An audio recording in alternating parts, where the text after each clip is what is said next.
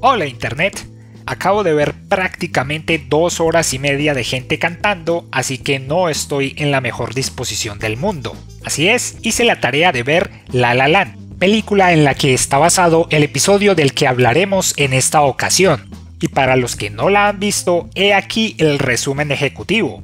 Si no la han visto y no les interesa escuchar spoilers, pues pueden saltarse esta parte cuenta la historia de un par de fracasados que viven en Los Ángeles, una suripanta aspirante a actriz y un engreído pianista de jazz que sienten la necesidad de cantar en las situaciones más inoportunas. Se enamoran y tratan de seguir sus respectivos sueños haciendo en principio cosas que no quieren, y al final no quedan juntos. Sí, sé que fue una película nominada al Oscar y que mucha gente la apreció, pero no es la basura hollywoodense que disfruto, así que me disculparán por la actitud que tengo con respecto a la película. En fin, también he de admitir que no me agradan los episodios musicales de Los Simpson, así que entro a este un poco predispuesto. El capítulo fue escrito por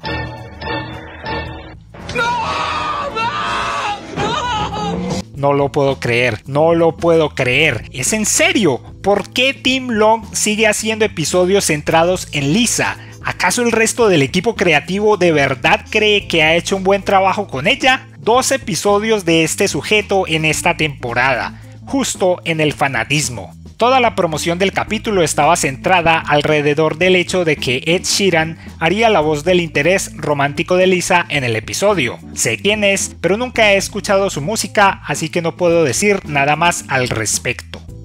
El episodio, aparte de abrir con el ya tradicional Año Nuevo y Año Viejo con el abuelo y Maggie, inicia con una parodia del número musical que abre la película, el cual tiene un par de bromas visuales interesantes y un vistazo a lo que están haciendo algunos de los personajes ya fallecidos de la serie. Luego, la familia se dirige a una feria de ciencias, en la que, entre otras cosas, hay una broma en la que dicen que Stranger Things está sufriendo de fatiga de segunda temporada, ¿Con qué cara vienen a hacer una broma así? ¿Cómo le llamamos entonces a lo que está sufriendo esta serie? Lisa conoce a un pianista de jazz llamado Brendan, con el cual obviamente queda encantada, pero desde el principio se establece que este tipejo trata de forma algo despectiva a Lisa, menospreciando su talento y su esfuerzo. Mientras, Milhouse sale de la nada ofreciéndole agua a Lisa, lo cual representa su única aparición en esta parte. De hecho, Milhouse no tiene un rol muy prominente en la historia principal, aunque el resumen del capítulo así lo había indicado. ¿Y saben por qué es eso?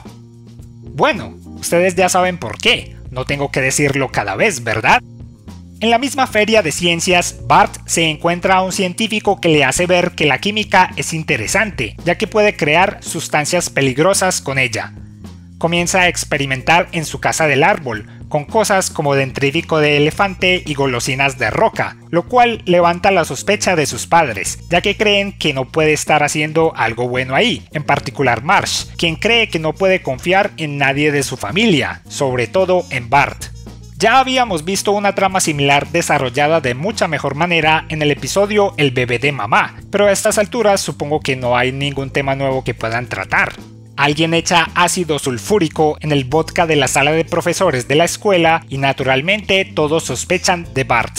Brendan ha sido transferido a la escuela primaria de Springfield y Lisa le hace un recorrido. En él se encuentran con Nelson, quien de inmediato se siente celoso por el nuevo chico. Trata de hacerle matoneo junto con sus amigos, pero Brendan transforma esa agresión en una canción, lo que le gana el favor de las chicas, especialmente de Lisa. A pesar de que Brendan la trata de manera condescendiente y que Nelson hace todo lo posible por cautivarla, incluso admite que leyó un libro, Lisa está dividida entre los dos e incluso se siente feliz y halagada de que dos chicos estén peleándose por ella, porque ese es el comportamiento de una persona racional e inteligente, sí señor. Habrá un concurso de talentos en la escuela en el que Nelson y Brendan competirán por su afecto. Nelson termina siendo abucheado y Brendan es descalificado del evento porque vive fuera del distrito, en Springfield del Oeste. Así que será transferido de la escuela y esto significa que Lisa y él no pueden continuar con su relación. Vaya estupidez. Y justo cuando la audiencia cree que el espectáculo ha terminado y yo creo que el capítulo ha finalizado también, el profesor Largo nos recuerda que hay una trama secundaria y que Bart tiene un experimento químico por mostrar.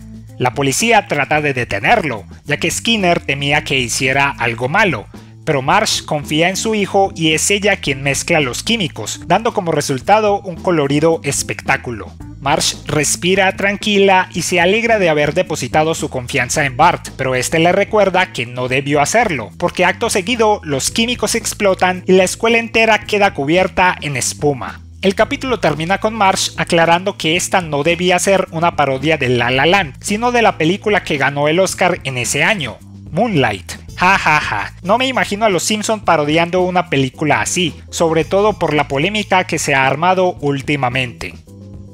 En la escala Max Power del 1 al 10, 10 es lo más alto, 0 el más bajo y 5 la media, así que yo le doy a este episodio un 3. Típico episodio de Lisa conociendo a un nuevo interés romántico con una estupidez al final que les impide estar juntos. El personaje de Ed Sheeran es poco interesante y molesto. Hay un par de bromas visuales efectivas aquí y allí, y la trama secundaria con Bart, pues solo estuvo ahí. Por suerte, el episodio no es un musical por completo. Sí hay un par de canciones, pero no es algo abrumador. De hecho, la parodia de La La Land no va mucho más allá del título del episodio, la escena inicial y el hecho de que Brendan es un pianista de jazz.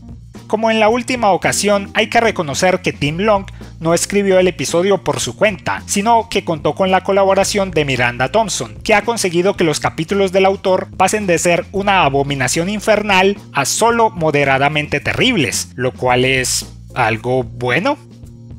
Y ahí lo tienen, en la próxima ocasión, el señor Burns se volverá paranoico con el fin del mundo, así que le encarga al profesor Frink examinar a todos los ciudadanos de Springfield para determinar a quién vale la pena salvar, lo que causará diferencias entre la familia Simpson.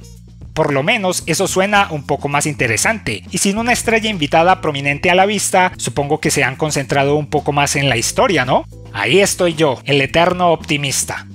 Como siempre, muchas gracias por ver, no olviden suscribirse a nuestro canal y también seguirme en Facebook.